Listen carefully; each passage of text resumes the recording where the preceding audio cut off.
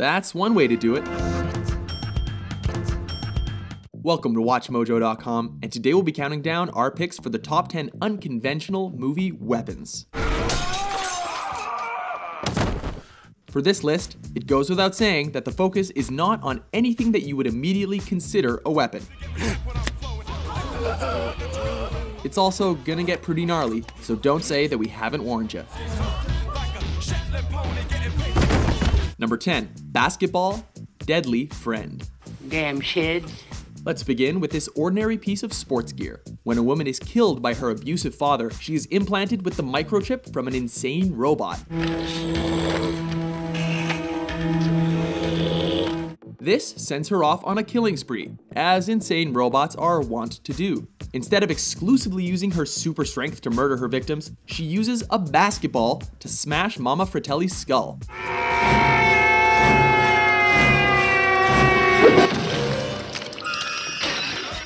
Man, Buffy's got a hell of a throwing arm.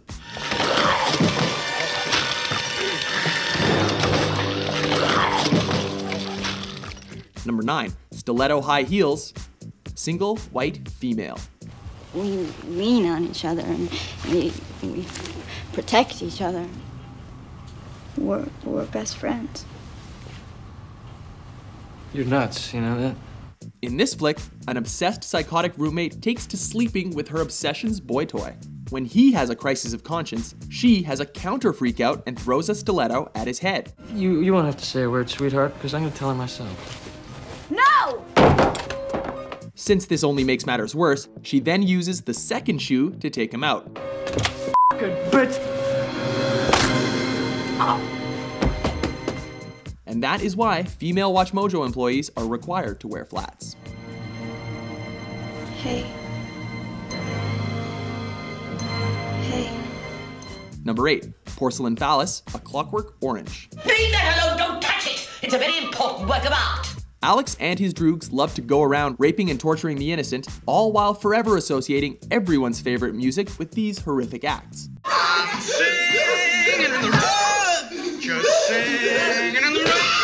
Alex goes for even greater shock value when he attacks an artist using the most important member of her collection. That's right, he uses the hardest object he can find to take her out.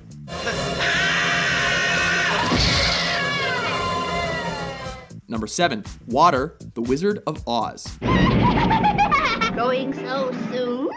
I wouldn't hear of it. Why, my little party's just beginning.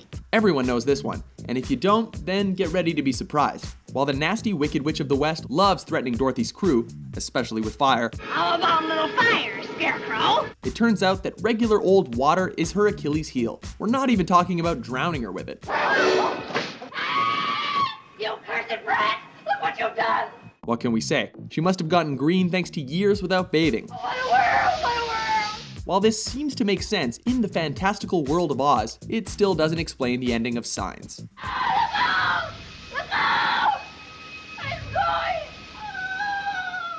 Number 6. T-bone steak, law-abiding citizen. So for lunch, I would love a 20 ounce porterhouse steak. Medium, maybe a little bit charred, with all the trimmings pommes frites, asparagus, butter squash. F- you and your pommes frites. Oh, Gerard Butler, you aren't just a lady killer, but a man's man. We say that because he plays a man who takes the law into his own hands, and at one point offers up valuable information for a seemingly harmless meal. This leads him to share his meal with his cellmate. Like steak? Mm. Steak. Steak. I have a big piece for you. There you go. And by share, we mean stab him to death with the T-bone from his steak. Wait, is that why they call it shanking? Number 5. Dildo, lock, stock, and two smoking barrels. What's all the fuss about Harry? Why don't we just boycott the payment? Let me tell you about Hatchet Harry. They say there's a fine line between pleasure and pain. However, when one of the men in debt to a gangster questions why everyone lacks the balls to stand up to him, Jason Statham quickly brings him up to speed with a colorful anecdote. Within a minute, Harry's lost his rag. Reached out for the nearest thing at hand, which happened to be a 15 inch black rubber cock. Basically, the last person to miss a payment was given the shaft. He's then proceeded to batter poor Smithy to death with it. Hence, Hatchet Harry is a man you pay if you owe. Number 4. Records Shaun of the Dead. Purple Rain. No. Sign of the Times. Definitely not. The Batman soundtrack. Throw it.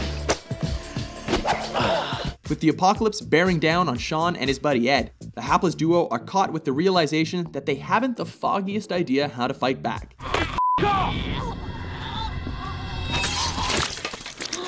This leads them to take the unusual opportunity to sort through their record collection while zombies shamble towards them. This really exemplifies how stupid they are, because everyone knows that VHS tapes are the best way to deal with zombies.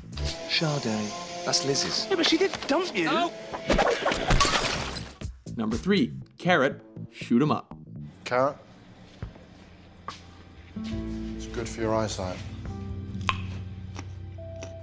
If the pen is mightier than the sword, what does that say about carrots? In a film that seeks to redefine the term over the top, Clive Owen's carrot munching killer uses his comfort food to create a whole lot of discomfort. Son of a bitch!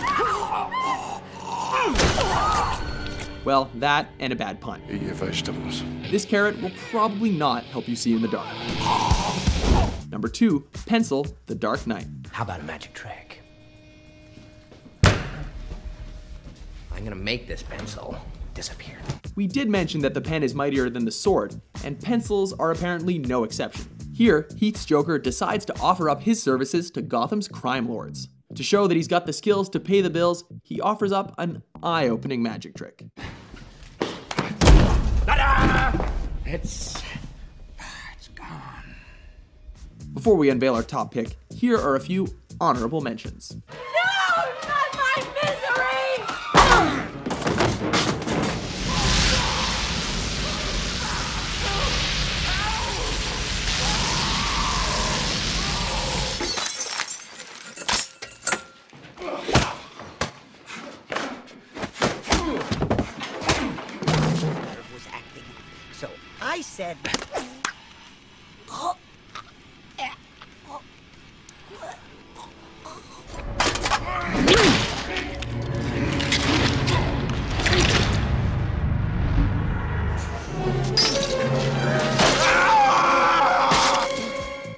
Number 1. Bowler hat, Goldfinger.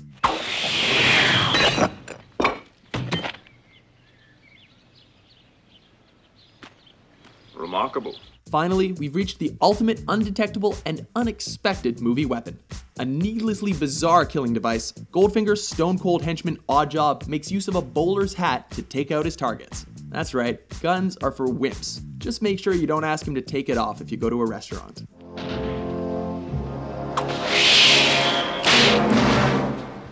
Agree with our list? Which unconventional movie weapon had you gasping in disbelief or giggling at its downright silliness?